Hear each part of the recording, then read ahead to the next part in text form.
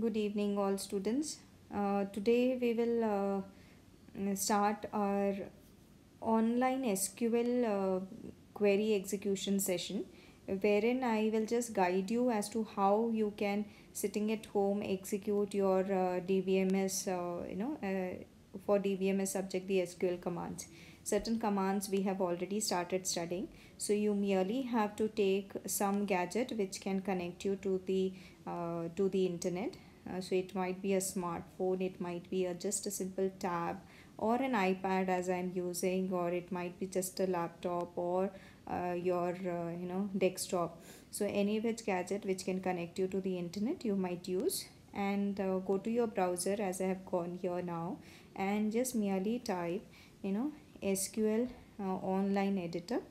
Or you might say oracle online uh, you know oracle online editor. So you will be given a list of online editors which are available. You just merely have to click on them and uh, uh, start using them directly. So you definitely have to be connected complete uh, throughout the session you have to be online. Okay?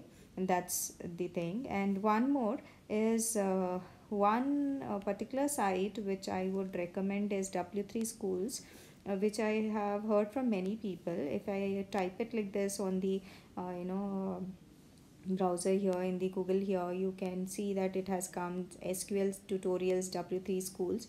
Uh, here you can uh, try all your commands.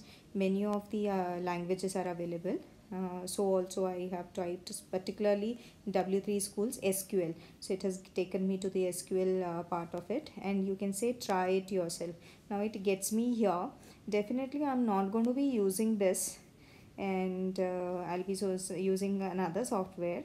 But then uh, this works fine. Why am i not using this? Is because it is not working fine for my ipad on my ipad though it worked fine on the laptop.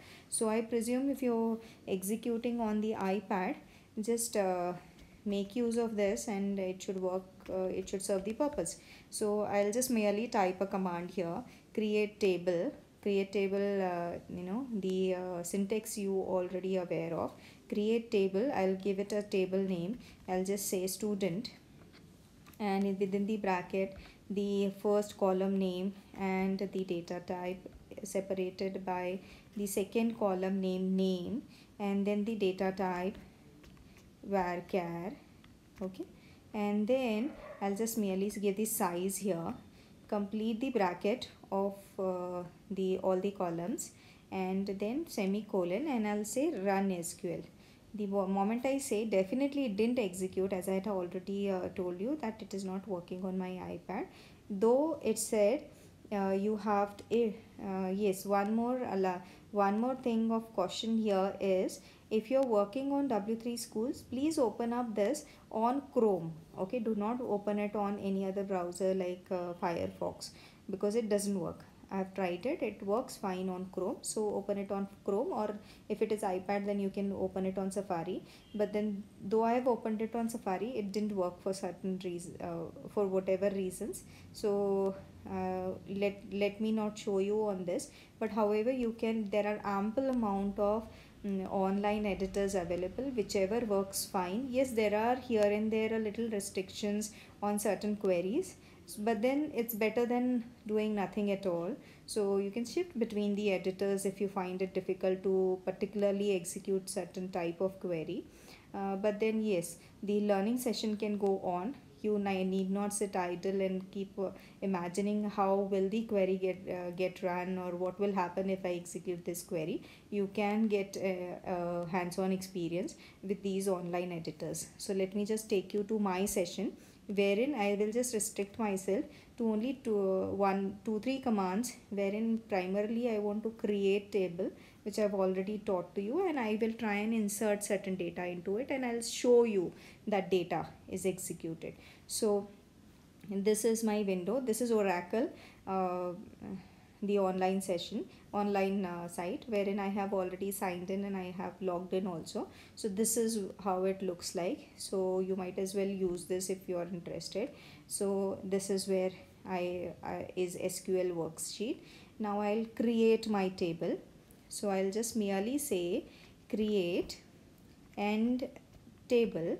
Create table is a keyword okay? So these are two keywords going together if to be more precise.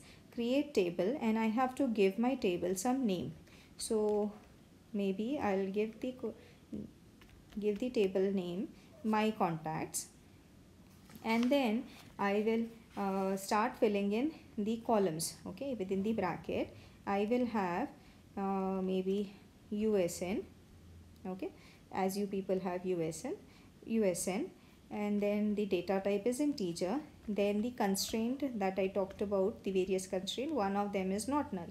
So I do not want it to be null okay? So not null. Then first name I will say where care okay? So I'll say 20 and then again I do not want it to be null so I'll say not null. Then next last name.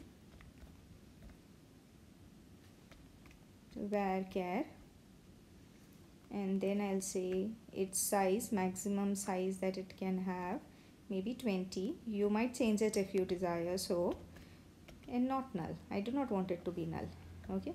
Then age I want it to be just integer I'm not giving any restrictions. I'm not having any constraint.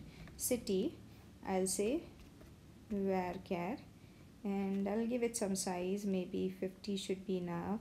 Or even smaller than that should work fine. But however I have given 50 doesn't matter. Semicolon. And then there is a run button here on top. Top right hand side you can see a run button there. So I'll just merely click on it the moment I click it has uh, you could see that it was processing and at the bottom there is a small window which reads table created. Okay? So table created. So there is table created. Okay? So I'll just uh, so I'll just take you to the schema. Can you see at the left hand side there are certain tabs here there are certain options here. I'll just read them because now I have nothing to un, uh, you know uh, underline here.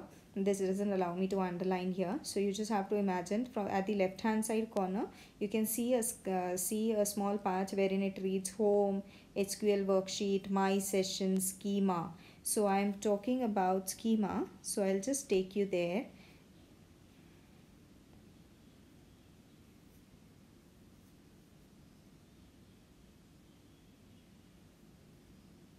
it's taking a little time.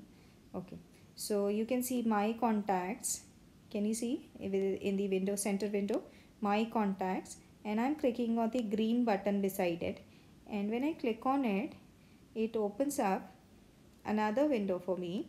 And now you can see what all which table I have created. So the table name. Can you just start reading?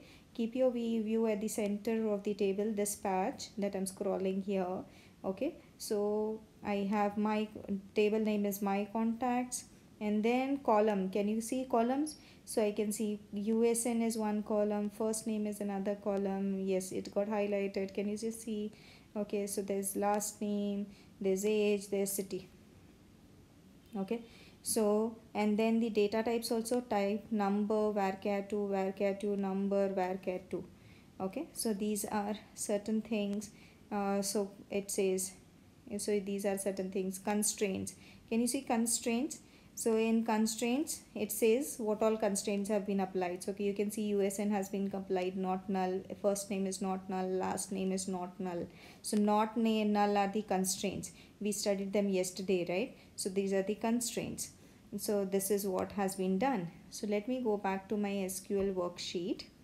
So this is how your table should be created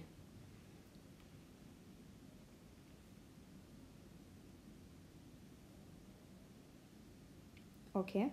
So you just have to figure out depending on what editor it is you just have to figure out how to clear the screen how to type where is the run button where are you actually seeing the output. Okay so just figure out those minute things and uh, the statement should be exactly what i'm typing here. So i'll just clear the screen for you. So this is my worksheet. It is cleared for me. I'll just try and insert the data. Uh, this has not been taught. So carefully look at it. It merely says insert okay? Into. Insert into my contacts is the table name. Okay? Then I can merely say this is one way of doing it. I'll show you another way also. Okay? Insert into my contacts. I will not say insert into table because create statement was create table table name. Table was a keyword which was used. Insert doesn't have that table. Insert into table and then the table name no. Insert into my contacts directly the table name. And then I say values. And then I can merely type the values in the sequence that I have uh, put there as column. So the first one if you remember was USN so it was number so I'll put 1 then first name was there. Okay. So maybe Priya okay? And because it is varchar I have to put it in the quote single quote okay? Character it is na? so I have to so you can make it capital if you want. Priya Mishra is the last name. So it was USN first name last name then uh, it was I think uh, if I'm not wrong it was age. So let me say it is 23 and then uh, city and let's say uh, Bagalkot.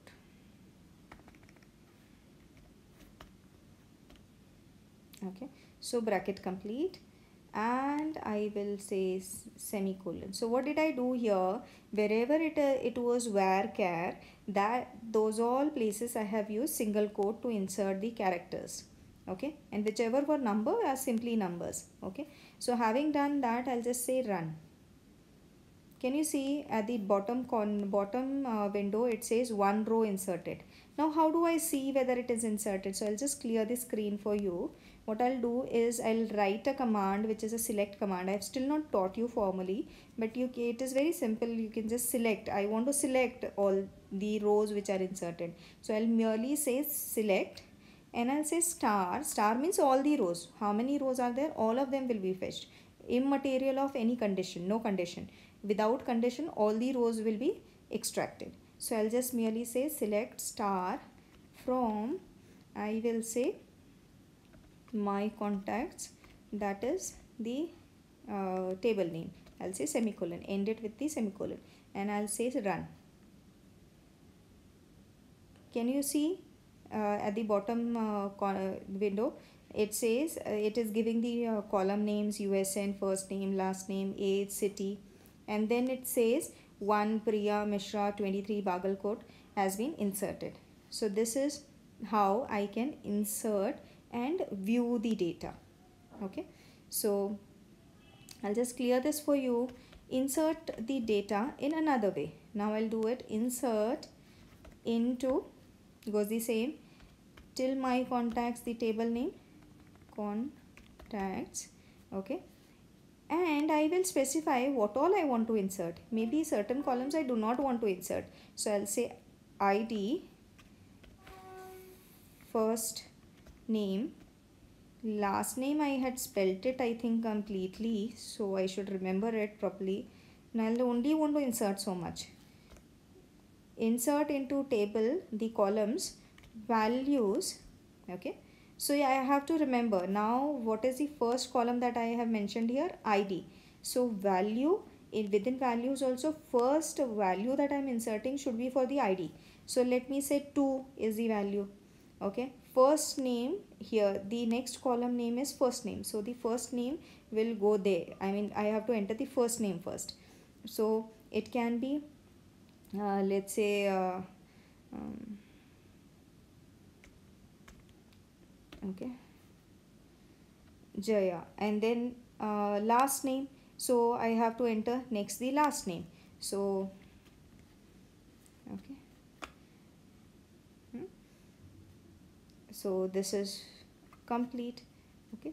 And then I so how many columns I mentioned here? Those many values have to be there after the values bracket okay so three columns were there id first name last name. So within values also there are three values uh, 2 jaya and ja okay so i just run it.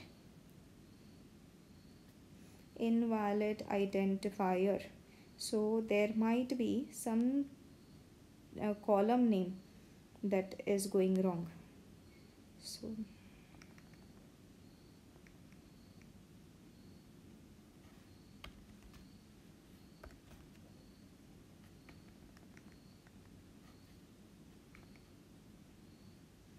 we'll just figure out if last name I'm spelling it properly but uh, so I'll just try and insert only these two but it should give me a problem. Why? Because it is not null for the last name. So let's see.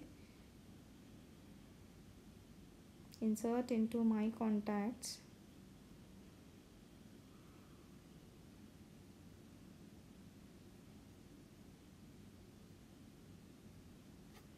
no it is not identifier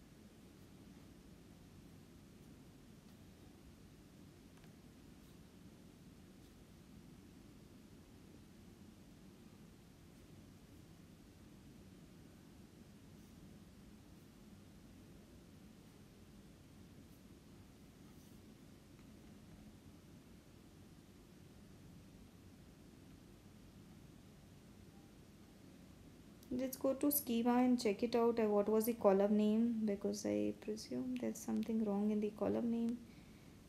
Let we spell it differently.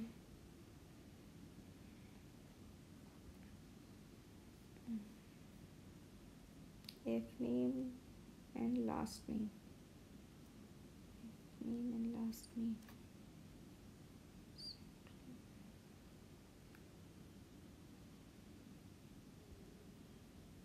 name and last name.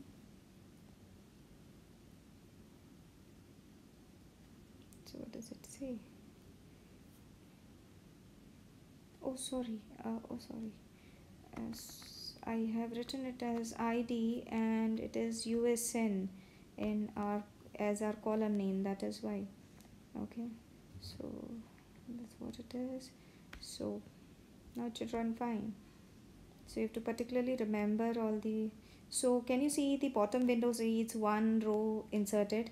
So I'll just clear this for you and select I'll just do select statement again select star from my contacts contacts okay semicolon and then I say run. Can you see this? So what happened is it didn't uh, do anything as as in it allowed me to put certain row with age and city not mentioned because the constraint for them is not null is not there. So it they can be null it, they can be empty. Okay so so what we will do now again we will clear the screen and insert the table this time. Insert into into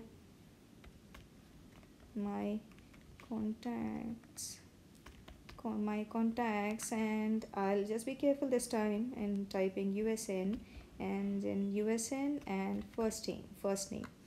And I'll say values and I'll just enter 3 and first name as you know this some name. And then I'll say run. Let's see what happens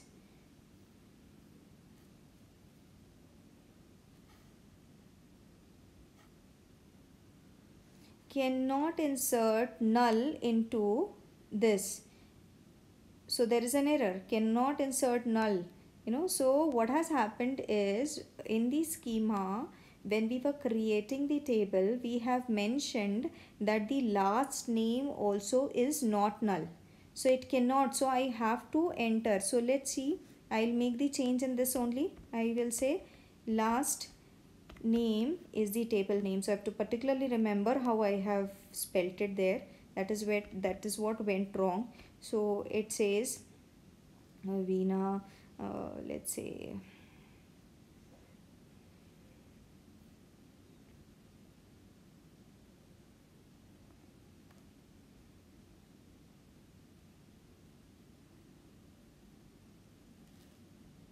some surname remember any surnames today.